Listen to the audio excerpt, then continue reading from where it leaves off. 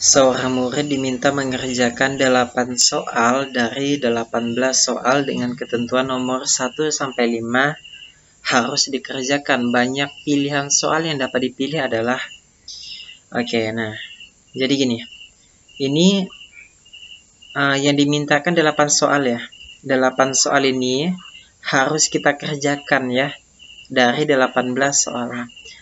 Okay nomor 1 sampai 5 ini harus dikerjakan ya.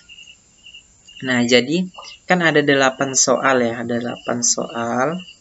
Nomor 1 sampai 5 tuh harus dikerjakan. Artinya karena 5 soal ini sudah dikerjakan ya, sudah diambil, ini kan nomor 1 sampai 5 harus dikerjakan. Artinya kita kurangi dengan 5 soal ya.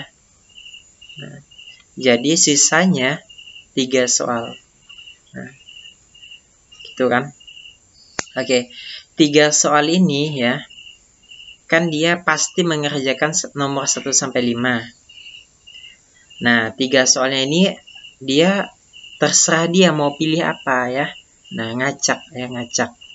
Oke karena 5 soal udah dikerjain berarti ini sisa sisa berapa? Yuk sisa 13 ya karena nomor 1 sampai 5 itu udah dikerjain. Nah dari 13 soal ini ya. Dari 13 soal ini dia tuh milihnya ngacak ya tidak berurutan tidak berurutan. Nah, kalau tidak berurutan ya ini artinya kita pakai kombinasi ya. Nah kombinasi ini kombinasi gitu paham ya? Oke kombinasi rumusnya n CR.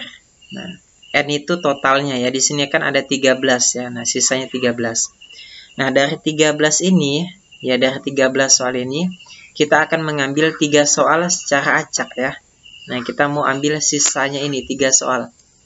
Oke, jadi kombinasi ya.